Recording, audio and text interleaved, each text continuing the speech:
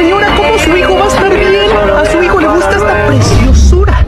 La favorita, la que hasta la zona, se mueve en su cadera como un barco en la sola, tiene los pies descalzos como